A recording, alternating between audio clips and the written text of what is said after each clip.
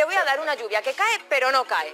No, en serio, no es broma. Que puede pasar que en una nube comience a caer precipitación y por debajo de ella se tope con una zona en la que la lluvia o la nieve comience a disolverse. Y eso es lo que se conoce como virga y lo que vio nuestro amigo José desde este avión.